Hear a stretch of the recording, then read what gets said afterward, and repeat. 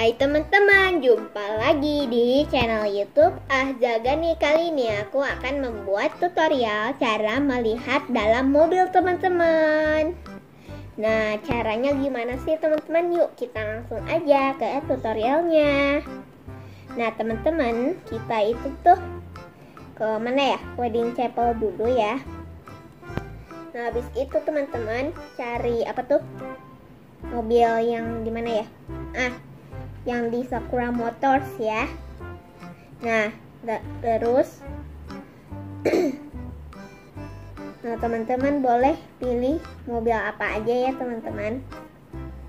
Boleh sih. Nah, aku pakai mobil yang mana ya, teman-teman? Yang nah ini.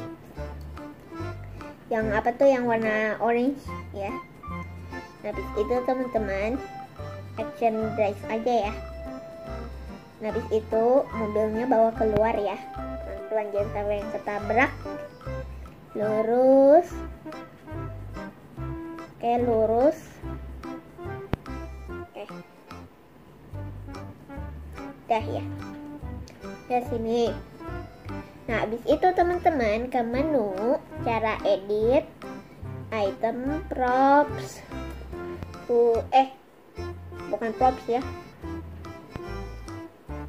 umbrella kayak bentar. Nah di situ tunggu agak lama dikit. 1 2 3 4 5 dah. Nah 5 detik ya tunggunya. Nah. Oke teman-teman nah ini aja terus. 1 2 3 4 5 6 7 8 9 10 nah abis itu teman-teman cara edit item edit atau item edit. Nah reset item. Nah teman-teman tuh Nah kan teman-teman tuh lihat kan? Tuh Jadi bisa jalan kan teman-teman Walaupun kameranya nggak bergerak ya. Uh Oke nah Cari yang kamera mana sih? Kan udah yang mobil nih ya Tuh kan? Nah kita Pencet lagi. Nah kita Lihat-lihat ke mobil dalamnya deh Di gas-gas aja ya. Wow teman-teman tuh. Lihat kan teman-teman tuh. Kan dalamnya tuh. Teman-teman kan dalamnya. Wow bagus juga ya teman-teman dalamnya. Ih kok ada itu sih? Dalamnya ya. Tuh.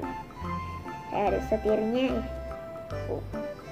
jadi kita bisa lihat dalam mobilnya. Nah ada apa tuh? Di sana teh.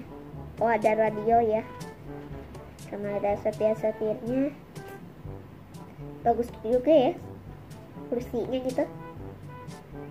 Hmm, itu ya teman-teman ya. Oke jadi kayak gitu teman-teman ya nih. Tuh dalamnya ya teman-teman. Tuh dalamnya teman-teman. Tuh dalamnya kayak gini. Tuh teman-teman kan kelihatan. Tuh jadi kayak gitu ya teman-teman tutorial cara melihat isi dalam mobil teman-teman. Oke, sekian dulu dari video aja berikutnya. Jangan lupa subscribe dan like teman-teman. Dadah.